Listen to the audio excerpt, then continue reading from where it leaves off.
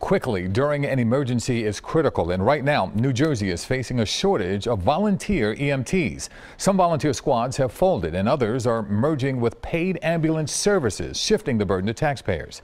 Eyewitness News New Jersey reporter Cleve Bryan is in Salem tonight with more on this growing problem. Cleve. Yuki, the reason you see two different ambulance trucks behind me is because many towns like Salem here have had to turn to their neighbors for help to overcome this shortage of volunteer EMTs.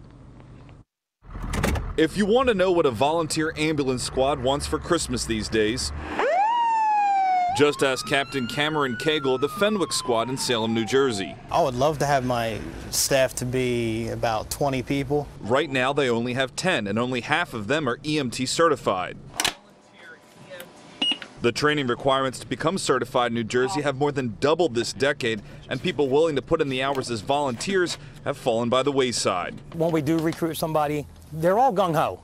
And then they start finding out, well, wait a minute, I can't make that because um, I can't get a sitter, or I can't make that because I have my second job to do. The volunteer shortage is being felt throughout the Garden State as the EMS Council of New Jersey has lost a quarter of their volunteer squads.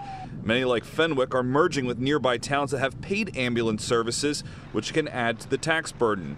Experts say the state needs to make changes like modifying EMT training schedules and locations to better accommodate volunteers' home and work lives. We need volunteers, but the legislators need to somehow step up and help these towns to try to recruit people, make it easier for them, make the training easier, make it rewarding. In the meantime, squads like Fenwick will continue to feel the staffing pinch, especially around the holidays when emergency calls increase and it's the same small number of volunteers dashing off to help. Christmas Day is one of our busiest days, so you, know, you finally open presents with your kids or your family, and then uh, we got to go on a call.